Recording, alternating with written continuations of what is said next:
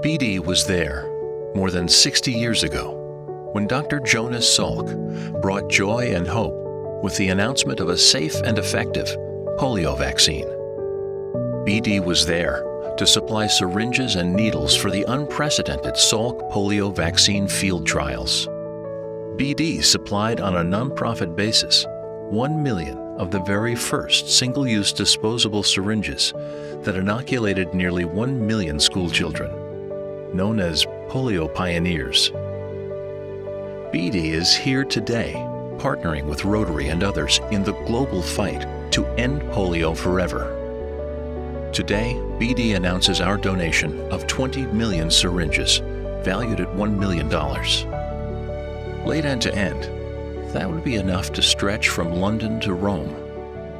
BD, providing advanced medical technology to serve the global community's greatest needs. BD, advancing the world of health.